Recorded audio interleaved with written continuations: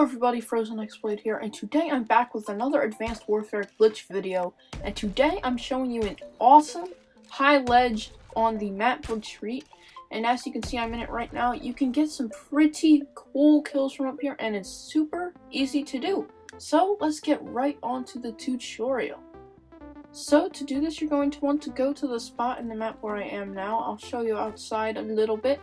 Then I'll show you on the map if you don't know where that is still. And first what you want to do is jump up on top of this little thing, and then you're just going to want to aim where I'm aiming and double jump and move forward until you get this. And as you can see now I'm up on the high ledge. All you have to do is double jump and move forward and eventually you'll catch this little ledge and it's super infected friendly because no one ever looks up here and you got a good line of sight in case you do need to kill someone. Well guys, that's it for this video. If you enjoyed then make sure to leave a like down below and subscribe for more epic content like this. Thanks for watching and I will see you all next time. Goodbye.